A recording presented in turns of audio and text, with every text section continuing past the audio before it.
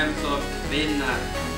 Reglerna kommer alltså vara att den robot som får svängs inne i rutan och är vid funktion som vinner fighten. Det Gäller att få ut motståndarroboten eller gå söndra motståndarroboten. Fight!